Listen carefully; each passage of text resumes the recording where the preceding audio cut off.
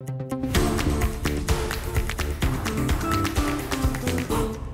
inaugural Alumni Bowl did not quite live up to the hype last year, with Westbrook pulling away for a 45-10 win over Beaumont United. But that was last year. Things are expected to be much more competitive this time around with the Bruins and Timberwolves both undefeated.